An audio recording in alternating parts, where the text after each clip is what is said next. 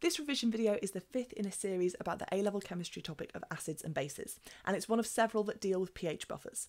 In this video, we're just going to look at how you make a buffer and how they work to minimise changes in pH.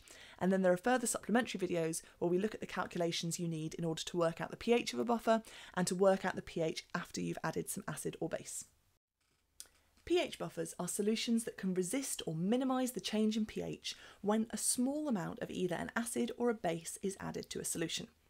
Now, this is really useful if you're making use of some kind of biological system that has an enzyme at the heart of it, like DNA sequencing or polymerase chain reaction, because it means that whatever is happening in that chemical reaction, the pH will remain more or less constant at the optimum value for that enzyme.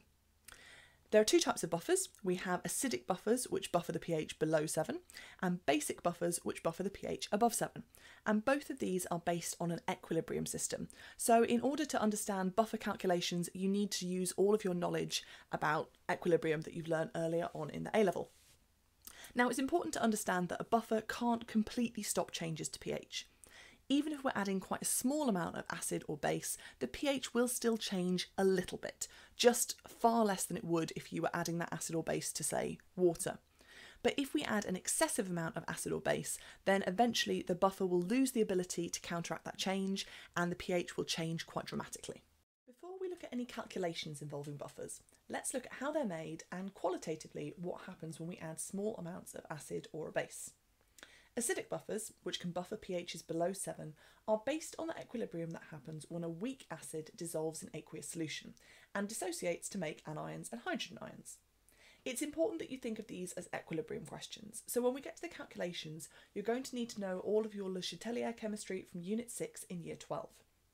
So here we've got ethanoic acid, which I'm representing as this purple rectangle, splitting apart to make ethanoate ions, which I'm representing here with the blue rectangle, and hydrogen ions, which I'm representing with a red rectangle.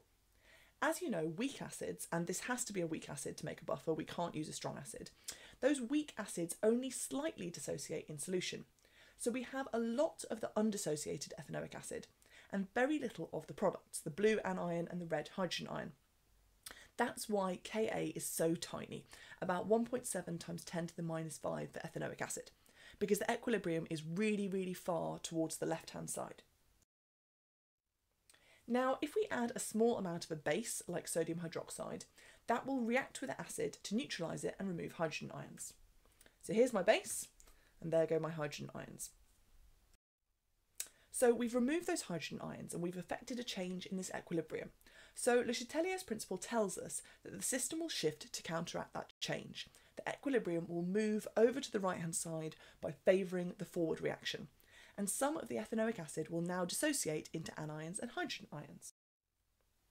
So the concentration of hydrogen ions will go back to almost exactly where it was before, although taking account of the fact we've slightly increased the volume of the solution, which will have an impact. But the concentration of ethanoic acid has decreased because some of that has dissociated, and the concentration of anions has increased. Now let's reset back to where we started and try adding some acid. If we add a small amount of acid, we are of course adding hydrogen ions. And Le Chatelier's principle tells us that the system will shift to counteract that change and remove those hydrogen ions. The only way that they can be removed is by joining back up with the ethanoate ions to make more ethanoic acid. In other words, by favouring the backward reaction so that the equilibrium shifts back towards the left hand side. And that's exactly what happens. So now there's more ethanoic acid and the concentration of that will increase, the ethanoate ions have been removed from solution, so the concentration has decreased, and the hydrogen ion concentration will be close to where it was before I added the acid. Now you can see here that even though I've only added a tiny amount of acid, I've run out of ethanoate ions, and that means that the buffer now can't do its job anymore. So actually, to make an acidic buffer effective at preventing a drop in pH, we need something besides the weak acid. We also need some spare anions to carry on um, soaking up those hydrogen ions to sort of act as a hydrogen ion sink. So you can see here I've added some extra ethanoate ions to my equilibrium and there are two ways that I can do this.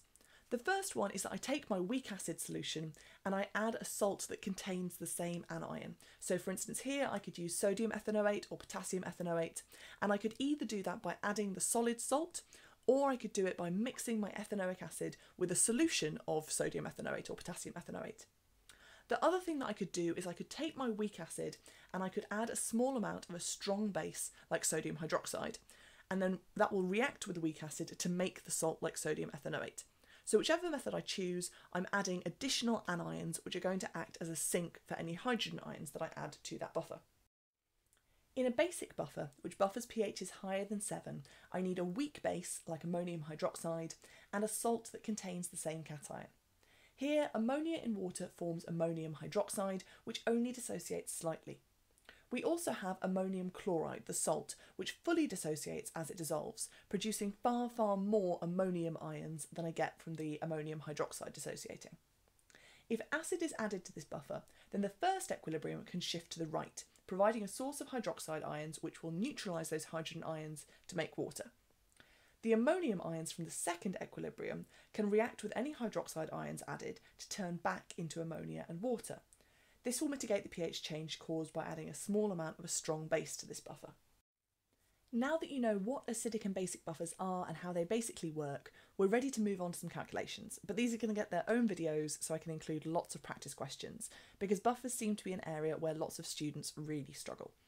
Over the course of the next couple of videos, we will look at three different types of buffer and how to calculate the pH of just that unadulterated buffer, and then separately we'll look at how to calculate the pH of a buffer after an acid or a base has been added to it.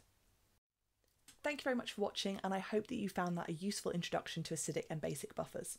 If you did find it useful then don't forget to like and subscribe so that you get the notification when I publish the next few videos where we're going to get stuck into some buffer calculations. If there are other topics you'd like to see covered then don't forget to let me know in the comments below.